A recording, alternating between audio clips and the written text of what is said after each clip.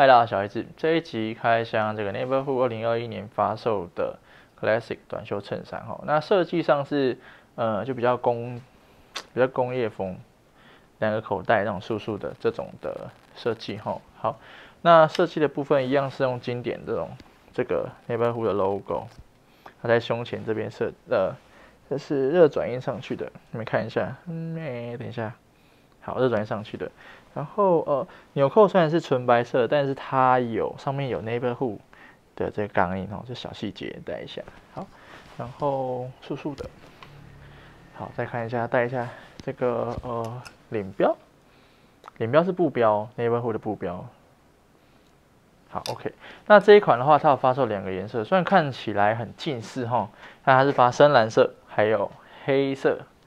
你们看一下深蓝色，哎，看不出来呢。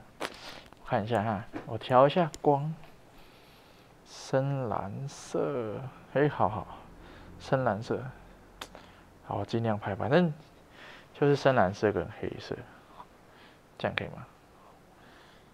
这样稍微，好，好算了，我放弃，OK，好，随便，好，然后再来，呃，还有小细节是这个，在右，呃，如果你穿起来的话，在你右边腰间的部分有这个 neighborhood 的小标。一样帅帅的，好，可以吗？有点那个跑掉了，没？等我一下，带一下。OK，好，OK，好，就带一下给大家看。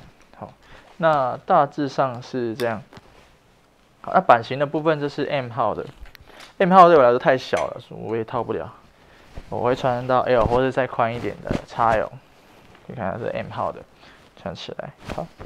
那大致上是这样。如果要看更多的这种 model 穿搭照啊，可以再上他们的官网去做参考。好，那哎还有一个分享一下，Neighborhood 这个它的这个纸牌，这个就是这个这个吊牌啊，还是一样哦，老样子没有改。我可以看一下，这细节啊，我一直也很很喜欢他们这样子帅帅的。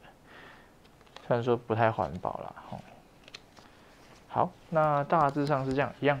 如果对商品有需求或有疑问，欢迎再来讯联系。拜拜。